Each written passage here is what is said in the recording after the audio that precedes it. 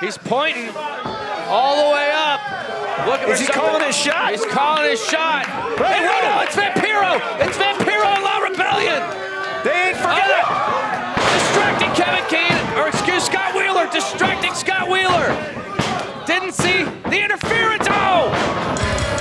The winners of this match, and still NWA United States Tag Team Champions, Daisy Kill and Talos. Hey, what's good for you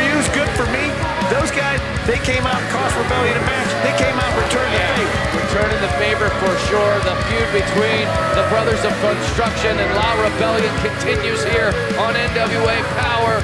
Folks, we're going to take a break. When we come back, EC3 in action, defending the World's Heavyweight Championship against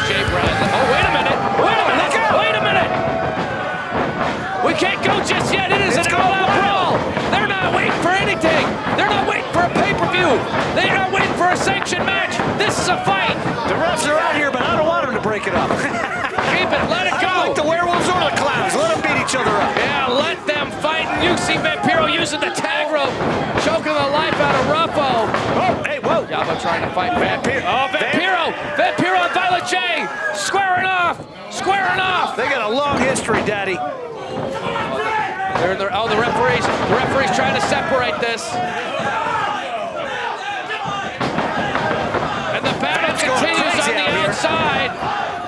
Vampiro's going crazy. And this They need more crowd, this crowd wants to see this match. They want to see this fight. Violent J versus Vampiro.